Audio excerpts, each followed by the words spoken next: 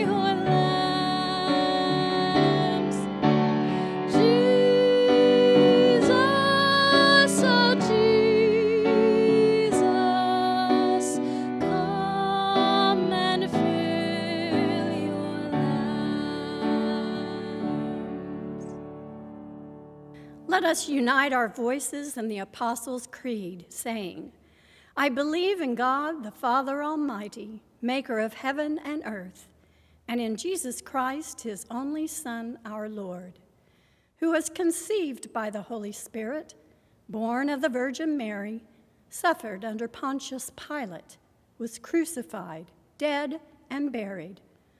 The third day he rose from the dead, he ascended into heaven and sitteth at the right hand of God the Father Almighty. From thence he shall come to judge the quick and the dead. I believe in the Holy Spirit, the Holy Catholic Church, the communion of saints, the forgiveness of sins, the resurrection of the body, and the life everlasting. Amen. Let us go to God in prayer. God, your presence is made known in the beauty of creation, and your joy sparkles in the eyes of children. We celebrate abundant life as we are able to join together once again to play and share Bible stories in person. Forgive us when we find ourselves stuck in paths that go to unhealthy places May we look to you for guidance in practicing the best ways to be people of faith. Forgive us when we think we can control everything and everyone. Help us stay the path and trust in you. so others will see the joy of our faith in you. We thank you for people who respond to your nudge and reach out to others, to those who have lost a job, to one who is grieving, or one feeling hopeless and no direction. We thank you for people who are the hands of Christ sharing your love with their families and their community. We thank you for people who listen to your call and work towards finding cures for diseases, who work towards peaceful resolutions in families and among nations, who plant seeds of hope and unity in building your kingdom. We thank you for the life of Jesus, who shows us the way to abundant living, and for the prayer he taught his disciples to pray, saying, Our Father, who art in heaven, hallowed be thy name. Thy kingdom come, thy will be done on earth as it is in heaven. Give us this day our daily bread and forgive us our trespasses, as we forgive those who trespass against us. And lead us not into temptation, but deliver us from evil. For thine is the kingdom, and the power, and the glory forever. Amen. Let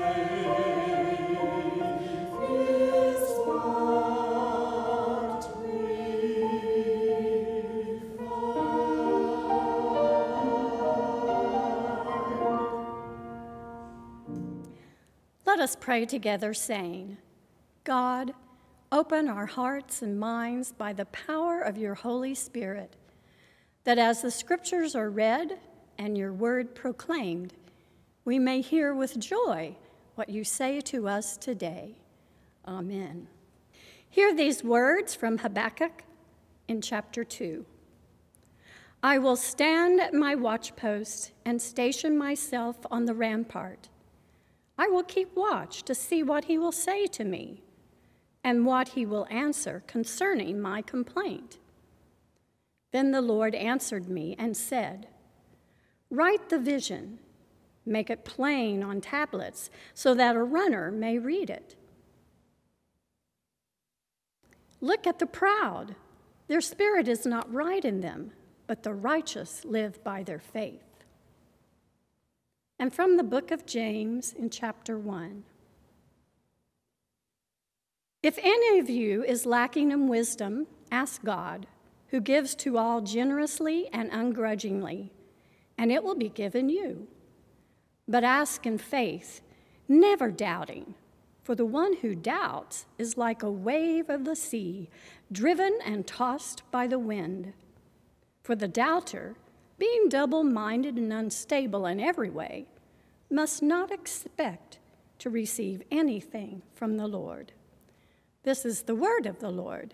Thanks be to God.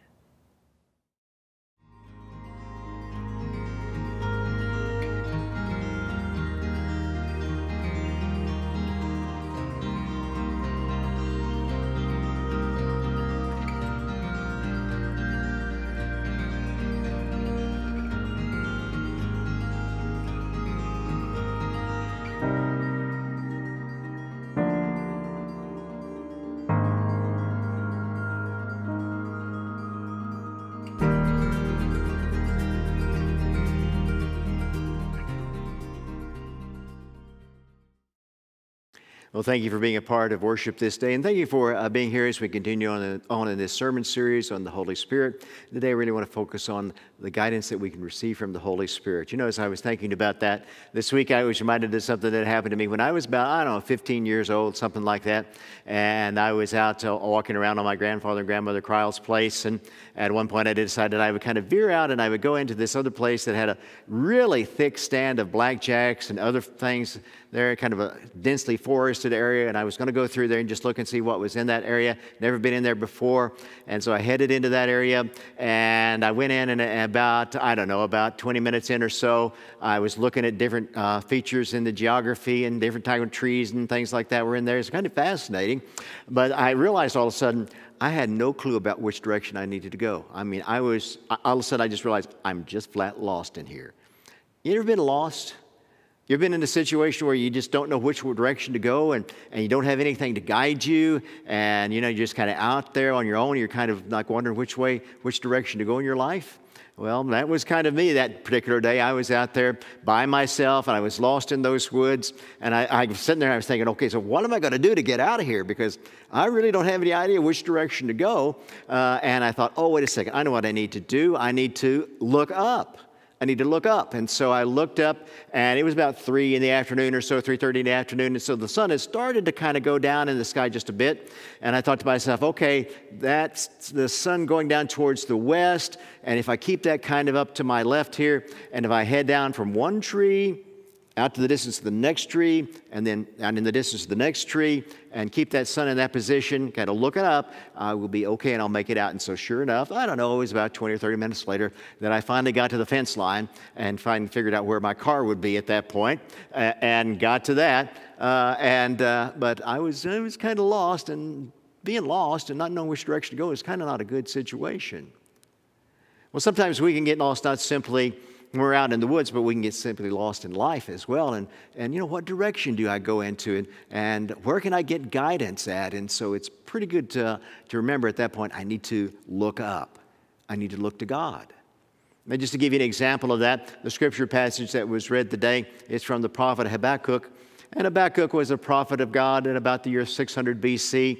Uh, and he had really some questions going on inside of himself about what was going on in his life and the life of his nation, which was Israel. Uh, and so he needed some guidance from God, and he was seeking to look up and get guidance from the Holy Spirit. And as he did that, it says he writes this down I, climb, I will climb my watchtower and wait to see what the Lord will say to me and what he will answer concerning my complaint.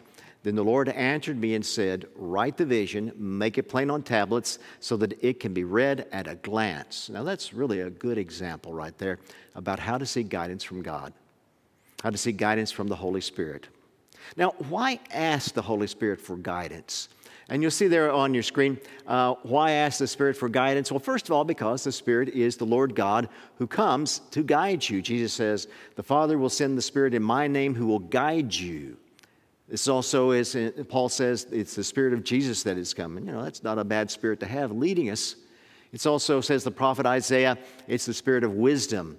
Well, who wouldn't want to be led, in your life by a spirit that is the spirit of wisdom and profound truth? And that is also the Spirit that knows the best plan for your life and mine, as the prophet Jeremiah reminds us.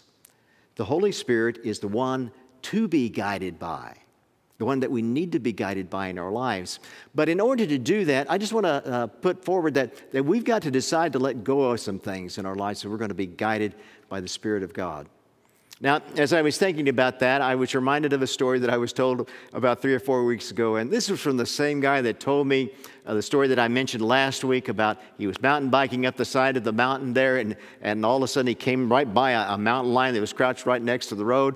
Uh, well, he also said there was another kind of odd thing that happened to him. He said one morning before dawn, his, him and his wife were out biking.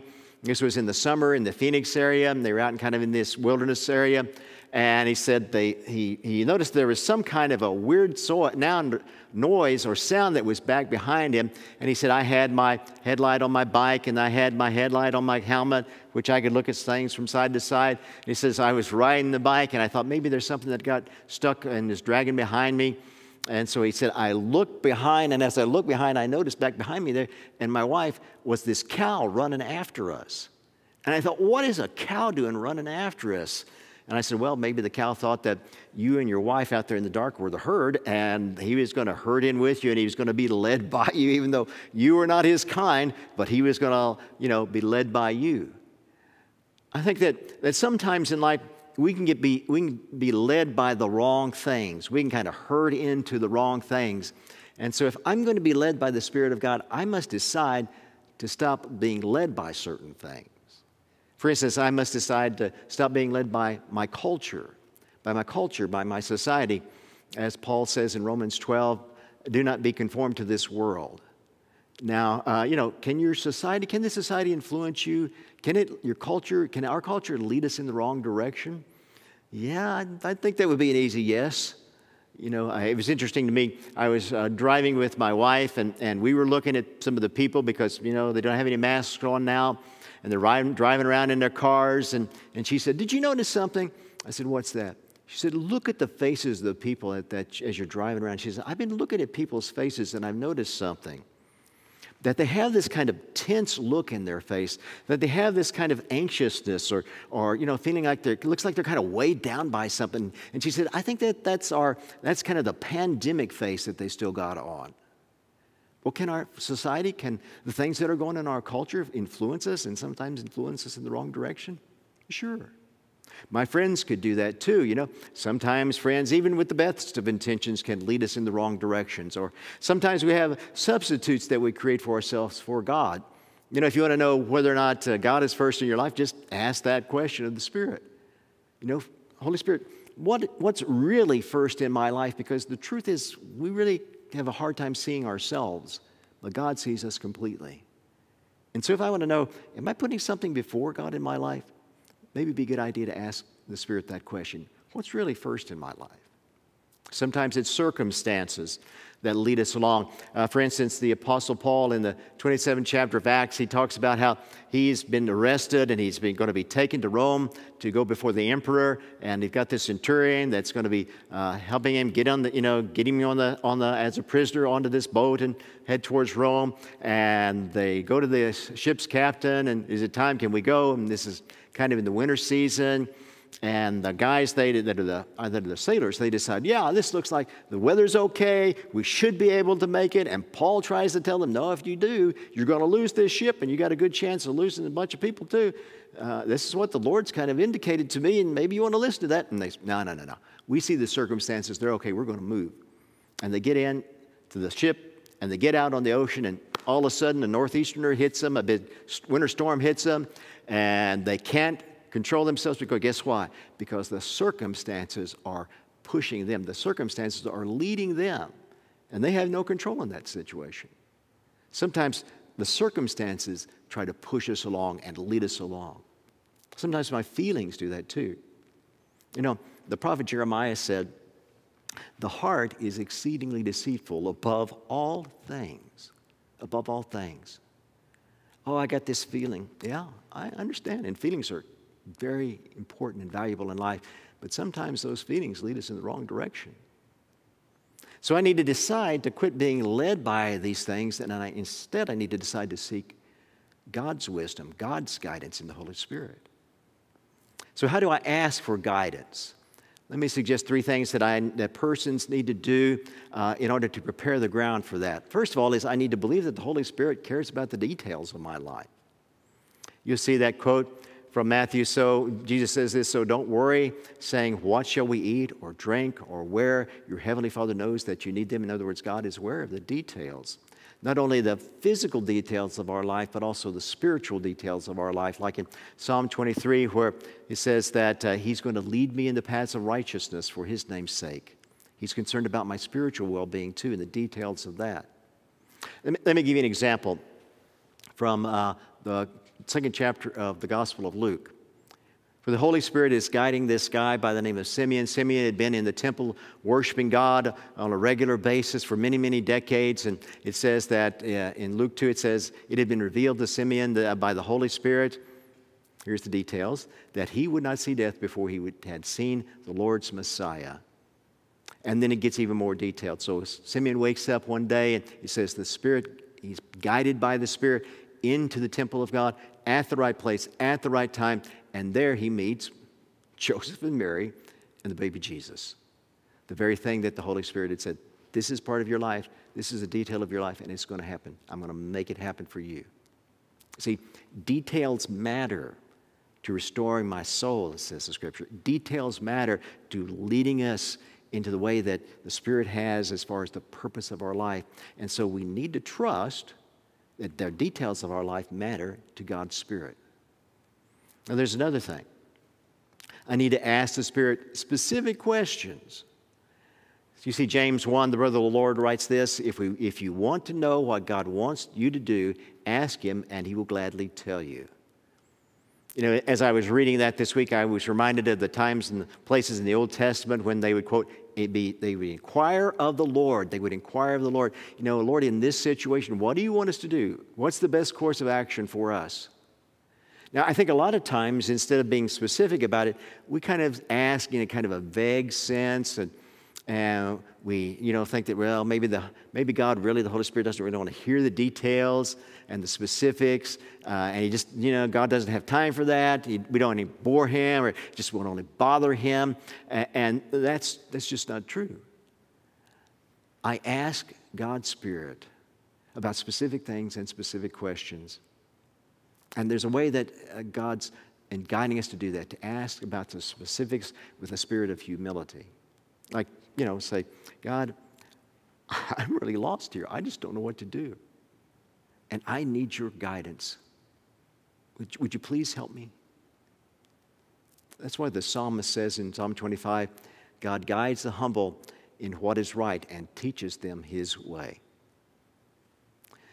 Also, I need to expect the Holy Spirit to answer. Again, James, the brother of the Lord, says this God is always ready to give a bountiful supply of wisdom to all who ask. He doesn't resent that, he says, says James, but when you ask him, be sure that you really expect him to, to tell you what you need, to give you that wisdom, give you that guidance that you need. And it may be a small thing, and it may be a great thing. You know, uh, St. Uh, Teresa uh, once said, You pay God a great compliment by asking great things of Him. You pay God a great compliment by asking great things of Him. And so it's okay to ask great things from the Holy Spirit and to expect God's Spirit to do great things in your life as He guides you and He guides me. So, how do I receive this guidance from the Spirit? I've asked for it, and so, you know, how do I get into that process where I I'm going to be receiving guidance from the Holy Spirit. And I want to lift up five things that Habakkuk the prophet teaches in just those couple of verses there in his book in the Old Testament. Uh, and the first thing is that get alone in a quiet place. Get alone in a quiet place. You see there, Habakkuk 2.1, I will climb my watchtower. In other words, I'm going to get away from other folks. I'm going to get into a, a quiet place. I'm going to get into my watchtower. And guess what? Jesus did the same thing. You see there from the, Gospels, but Jesus often withdrew to lonely places and prayed. And then he instructs us in the Sermon on the Mount whenever you pray, go into your room, shut the door, and pray to your Heavenly Father in secret. In other words, that it's important to be by ourselves in that one on one relationship with God and to be in a quiet place where that's where we can focus on. Uh, but let's think about that being alone with God.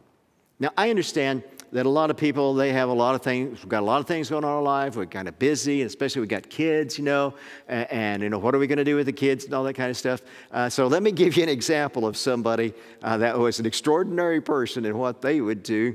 Uh, and it's a, a woman by the name of Susanna Wesley. Susanna Wesley, in the 18th century. She had 18 children. You know, we have the saying one and done now. Uh, well, it was 18 and done for Su- Susanna and, and, her husband. Uh, and uh, Susanna, despite she had all these kids in their house that she took care of, uh, these 18 kids, she prayed 60 to an hour to an hour and a half each day. Now, think about that 18 kids, an hour to an hour and a half each day. Now, how would she do that? Well, what she did was, she had an apron uh, that she would wear, and, and then she would go into the main area, the main room in the house, and she would take the apron and she would literally fold it up over her head, and there under that apron, she would pray. And the kids were instructed do not disturb mom when she's in there with that apron over her head because she's praying to the Lord. Now, maybe that's one reason why out of that household came two young men who who led the great English revival of that century. It's also a question of, of, well, I guess I would call the noisiness of our world. Sometimes it's too noisy to hear God's Spirit try to guide us. And so it's really essential that we remove the distractions. You know, uh, when I was uh, younger, uh, we used to have people would say all the time about, they talk about a quiet time. Have you had your quiet time? Are you scheduling in your quiet time? And that quiet time would be a place, maybe, let's say you would get out in the morning onto the back porch with a cup of coffee and a Bible, and you would read the Bible, and you would take some time to be in quiet and be with the Lord. And that would be one way that people would, they would eliminate those distractions to focus on Him.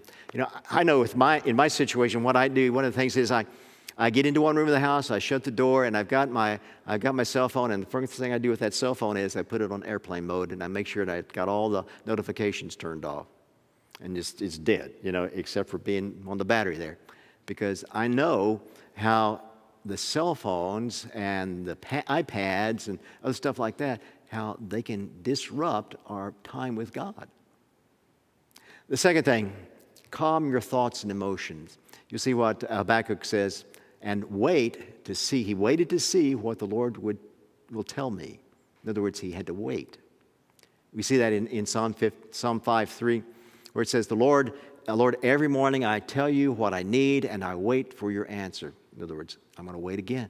And then, as Psalm 46 says, Be still and know that I am God. In other words, to be still before the Lord. Now, again, what did Jesus do? Well, there's a quote from Luke 6 in which it says that during those days, now those days were days where, you know, this ministry was really going on and people were seeking him, people were following him. Uh, th- amazing things were being done. They were just constantly hanging on his words and what have you. And people were coming and going all the time. So these were busy days. During those days, he went out to the mountain to pray and he spent the night in prayer to God. Now, you might think, boy, Jesus, he is so spiritual because he just would take a whole night. You know why he did that? Because he didn't have time during the day to do that. And so he said, This is a priority. I have got to take time to be with my Heavenly Father. And so if it means that I've got to go out there in the night and do it, in, in the night, in the wee hours of the morning, that's what I'm going to do because that comes first. That comes first. But the problem is that nowadays, uh, our minds are kind of like, well, a car radio scanner. If you ever had a car uh, radio scanner, you hit the button and it goes from one channel to the next channel to the next channel. So it is kind of with our minds today. We're going from one thing to the next thing to the next thing. You know, we're jumping stations every five seconds. And I just want to say if Jesus needed time to separate from the crowds, to cut the noise, to calm down from the emotions and the thoughts and the business, and to listen for the guidance of the Spirit, you and I probably need to as well. Do we not? Then, next thing, let the Holy Spirit give you a mental picture, a mental picture. Look at what Habakkuk says I will look to see, or look to see what he will say to me. See, because the Holy Spirit doesn't just answer in, in kind of words that are, are phrases that are whispered to our hearts, but often the Holy Spirit uses images and pictures. Now, that's really important because there's probably 50 to 75% of the population that they think more in pictures than they do in words. And so it, sometimes it's important for us to just ask, Holy Spirit, is there anything that you want to show me? You want to show me? So let me suggest an exercise. Sit down this week and take five minutes, 10 minutes, maybe 20 minutes and you're in a quiet place, you're by yourself, and, and in that time, ask God this question God, would you help me to picture what my life would look like if everything that was happening was happening just like you wanted it to? What would my life look like if in my life everything was happening the way that you, God, wanted it to? And wait for that visual impression of what that would be like. Now, Again, I want to re- remind you, like I did last week. Remember, always test impressions, right? But sometimes God speaks to us through visual impressions. Then record the ideas you receive. You see, the Lord gave me this answer. Write down clearly what I revealed to you. In other words, I'm supposed to write that thing down. So I want to suggest again, I want to suggest another exercise you might do this week. Go down to Walmart or to Family Dollar or Dollar General or something like that and buy one of those kind of like wiring notebooks and get that thing and uh, go down the page, just make a line down the page, make two columns, and on the top one say what I said to the Holy Spirit, and on the other side, what the Holy Spirit said to me and write those down. And then on the one side, write down the things that you say to the Holy Spirit that you pray to Him. And then on this is the revolutionary thing. On the other side, write down the things that the Holy Spirit says to you. Because guess what? All of a sudden, you've got communication with God's Spirit going. See, it's important to write that stuff down because it helps us to focus what we've said it also helps us to remember what we asked and what was the response. And it's also a good way to put it before so we can kind of test what we heard. You know, you know, does that sound right? Does that sound like something God's Spirit would say to me? Or is, is that something else going on inside of me? Finally, thank the Holy Spirit for speaking to you. You see what Habakkuk said, Oh Lord, now I have heard your report and I worship you in awe. In other words, to thank Him for this clear and daily expression. Now, I understand sometimes it's hard for us to hear it during a particular day. Sometimes that's a series of day, days. But for this clear and daily expression of love for you, for you. So finally, let's and let me ask you three questions here. So ask yourself, what do I need to stop being led by so that God can lead my life? The second one there is what specifically, for what specifically do I need to ask for guidance from the Spirit for? And then third, where and when am I going to practice this week these five things that the prophet is showing us here, in the way that he asked God? And where am I going to practice that? When am I going to practice that this week about how to receive guidance from the Holy Spirit? Because you see, the Spirit is with you. The Spirit knows you and He loves you. And one of the purposes He's been given to you, says Jesus, is to guide you forward in your life. Let's pray together.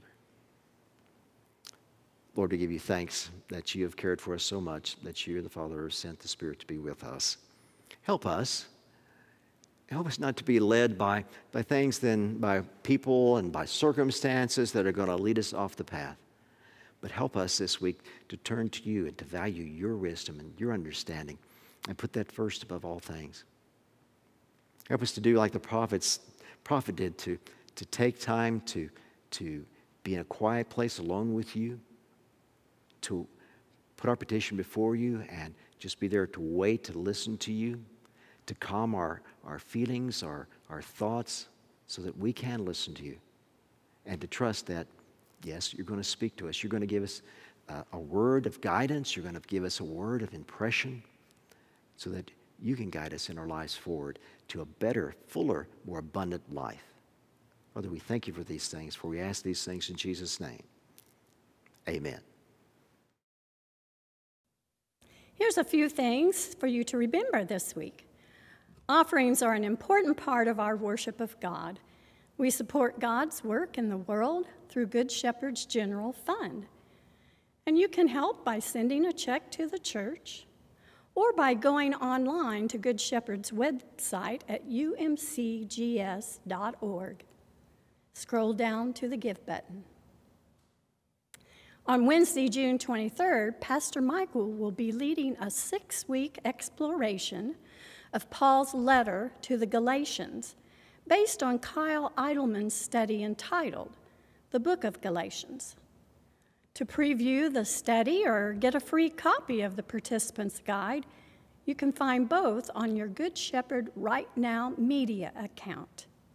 If you don't have a Right Now Media account, you can get a free account by texting Right Now Good Shepherd to 41411. A registration link will be sent by text to you so you can set up a free account and gain access to these resources and more for free. If you want to be part of the study group, you can contact the church office or come to our first meeting on June 23rd at 6:30 p.m. in the Christian Life Center. In person, children are gathering for Sunday morning, and it starts at 11 a.m. Between the two buildings on the south side, look for the tents and check your children or your grandchildren in for Sunday school. And we look forward to you coming. So now let us go forth and be God's people. Remember, God loves you. Go out into the world and share God's love. Amen.